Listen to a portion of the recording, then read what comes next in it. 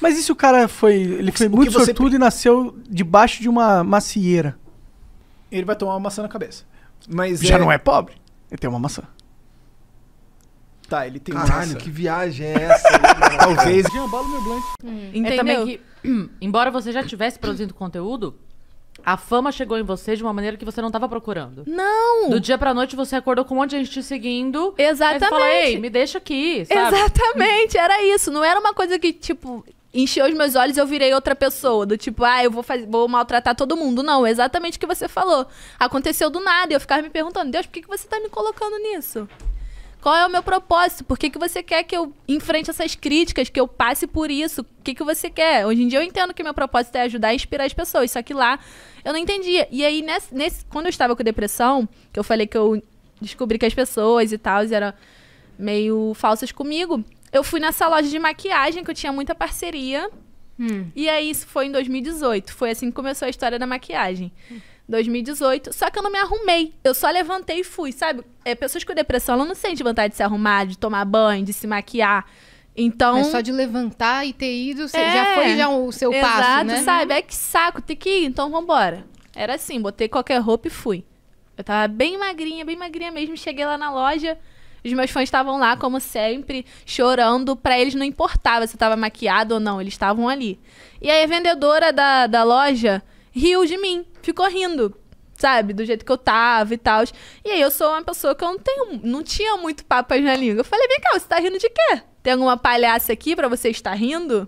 Aí ela pegou, ficou lá rindo, aí o dono da loja me chamou, falou, vamos subir. E o dono da loja é o dono da Face Beautiful, que é a marca que eu tô com a linha.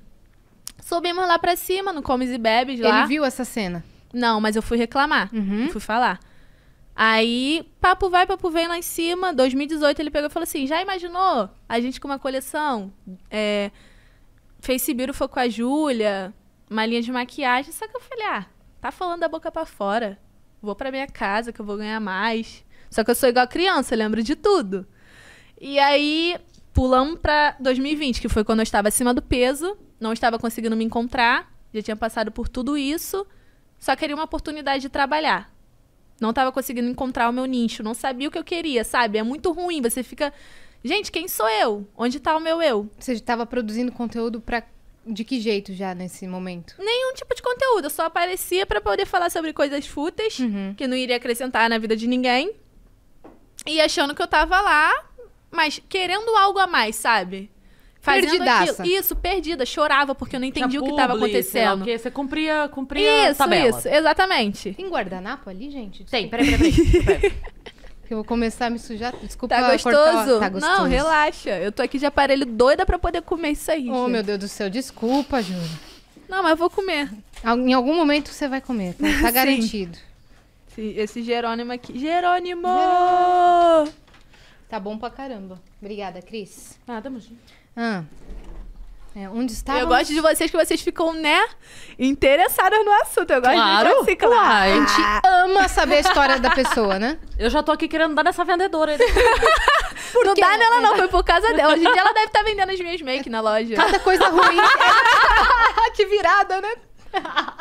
É Tem, tem da Júlia Peixoto? Não, não tem, não. acabou, acabou.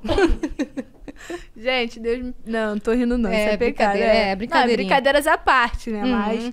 é, Aí, em 2020, como eu falei pra vocês, tava perdidaça um ano atrás, mandei mensagem pra Face. Falei, vem cá, vocês lembram em 2018 quando eu tava numa presença? Oi, sumida. Às 8 e 8 da noite, porque eu só vejo horas iguais. Às 20 e 20, né? Às 20 e 20. 20 e 20. Quando eu estava aí, vocês falaram sobre uma suposta coleção, parceria entre a gente. Olha, só pra falar que se vocês quiserem, eu quero. Mandei assim no Instagram. Sem nenhuma Aí pretensão. o cara fala, não lembro disso não, ela manda o print. que mulher guarda print pra essas horas, Não, né? e eles falaram. Eu falei isso? Falou. Não, e Olha eles aí. falaram, eu lembro. E aí eu falei, gente, eles lembram. Isso já era 2020, eu já tava acima do peso. E eu já tava querendo trabalhar. Eu falei, cara, en- aí ele tomou marcar uma reunião, marcamos uma reunião. Aí papo vai, papo vem, assim, entrou a quarentena. Aí eu falei, caraca, agora ferrou tudo, porque matéria-prima acabou, gente. Há um ano atrás não tinha matéria-prima pra poder fazer maquiagem. Então fiquei nesse processo aí durante um ano. Eu só fui fazer ah, o lançamento agora, dia 6 de maio. Mas você sabe que até hoje eu sinto isso, porque assim, eu passei por uma mudança há pouco tempo, a Yas tá passando por uma agora, e tudo que eu ia ver, por exemplo, sei lá, um exemplo idiota, sofá.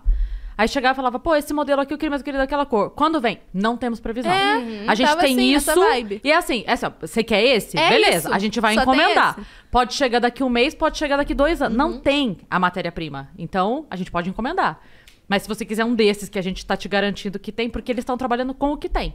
É Camiseta é a que tem. isso. Sim, sim. É isso. Não tem a, opção. A Malu, aquele dia, contando aqui.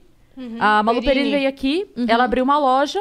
E aí, ela não conseguiu. Era, é um sexy shop. Ela não conseguiu fazer uma promoção esse ano pro Dia dos Namorados porque ela não tinha produto pra fazer. Aí, Ela esgotou todos os produtos da própria Esgotou loja o dela estoque. e não conseguia comprar mais. Ela falou: a gente queria Caraca. fazer uma promoção pro Dia dos Namorados, vai vender o quê? Não tem o que vender.